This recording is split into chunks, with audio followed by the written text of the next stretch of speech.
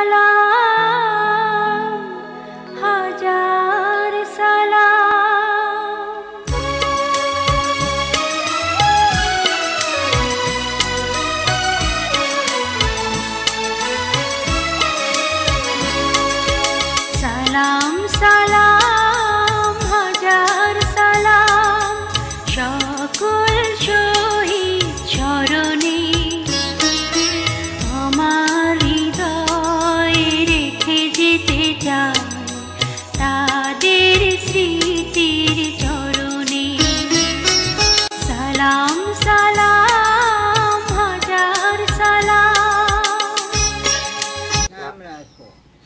রাসো আপনার ঠিকানা?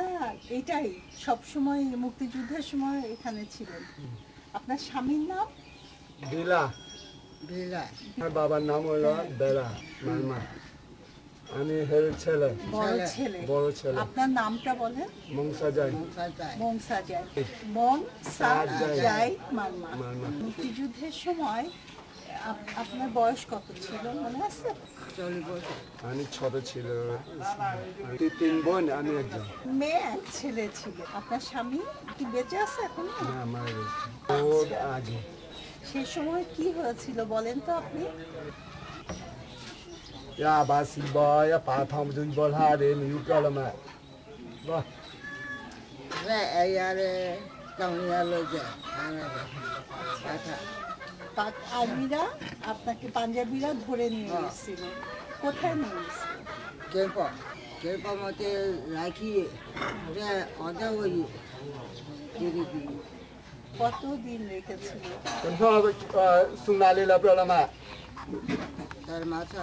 চার মাস আপনার সঙ্গে আরও কত মেয়েরা ছিল? এখানে জিজ্ঞাসা করেন তো দাদা।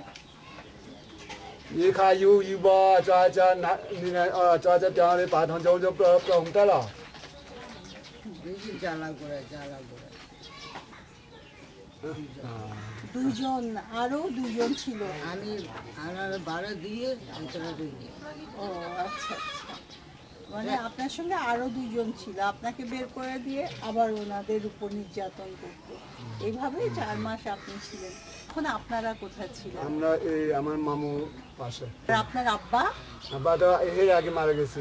ও মুক্তিযুদ্ধের আগেই আপনার আব্বা মারা গেছে। হ্যাঁ, হ্যাঁ। আপনার মা আপনাদের তিন বোন আর আপনাকে নিয়ে এখানেই থাকতো। হ্যাঁ। তারপরে আপনি কীভাবে ওখান দিয়ে ছাড়া পেলেন? পিছনে।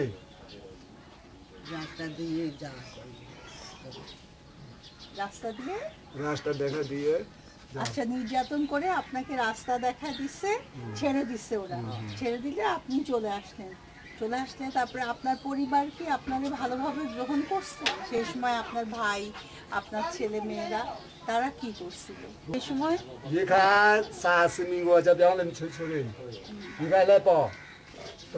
你看三十名我 এরা আপনাকে কিচ্ছু বলেনি আপনারে গ্রহণ করে নিয়েছে মুক্তিযুদ্ধ শেষ হওয়ার পর আপনি কি করলেন এটা আপনি আমরা মামু একটা আছে হের পালন আমি পালন করছি আমি খুব বড় করছি আপনার মামা আপনাদের খুবই কষ্ট ও করছে বেশ কষ্ট করছে আচ্ছা, আপনারা কি সেই সময় সরকার থেকে কোনো সহযোগিতা আপনার মা পেয়েছে কিচ্ছু পাই না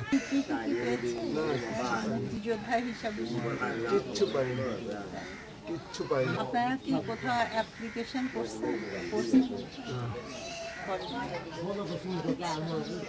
তারপরে এইভাবে এখন উনি কি অবস্থায় আছেন এখন কি অবস্থা? ওই আমি সারাদিন কাজ করে টাকা যা পাই মাকে কিছু দেয় কিছু খাই। যে ভাই ওনাকে দেখাশোনা করছে সেই ওনার স্বামী মারা যাওয়ার পর থেকে মুক্তিযুদ্ধের আগে থেকেই সেই ভাই ভাই এখানে বসে আছে। আপনার নামটা বলে আফুম। মারমা। আর ইনি হচ্ছে তার ছেলে। আপনার নাম বলেন। আমার নাম মারমা। অম্প্রু মারমা। মানে অম্প্রু মারমা বাংলায় সমস্ত কিছু আমাদেরকে ঘটনাটা বলবে। এর আগে তো ওনার ছেলে বলছে ওনার ভাতি যাওয়া বলবে। বলবে জি জি।